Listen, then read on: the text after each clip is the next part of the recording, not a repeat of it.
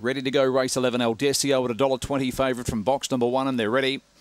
And racing, Aldessio jumped quickly on the inside. Fast away was Classic Cash. Aldessio railed strongly, though, leads past the judge. In third place was Tad Fear. Out wide on the track, Corbell bumped there with Zipping Ernie. Then followed by Mystique Rose. Select back on the inside. Last of all was Where's Ebony down the back. Aldessio, the leader, out by three. Tad Fear is second, two lengths away. Next was Classic Cash. Then followed by Corbell. The rest headed by Zipping Ernie as they come onto the corner. Aldessio nicely clear the favourite. Jump in the queue now if you're on the fave. It's going to go on and win by five lengths. Second goes to Ted Fear, 13 Classic Cash, then followed by Corbell. Zipping Ernie was next in. Well back was Silac Mystery Rose, and last to finish Where's Ebony in 30 and 75.